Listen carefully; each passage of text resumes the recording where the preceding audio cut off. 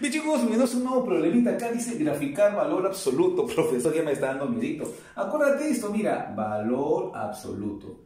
Acá está, mira, valor como si fuese una B chiquita. Ahí está, ahí está la B chiquita. Acuérdate de esto nada más, ¿ah? Y fíjate cómo se hace. Lo que tienes que hacer es lo que está dentro del valor absoluto, lo igualas a 0. Profesor, x menos 5 igual a 0, x vale 5.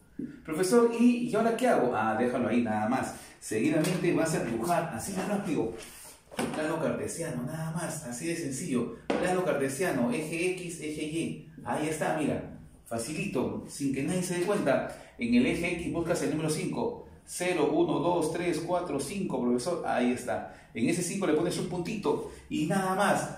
La B chiquita, ahí está. Fácil de recordar. Ahí está la B chiquita, mira. La B chiquita. Profesor, ¿hasta dónde? Hasta el infinito y más allá.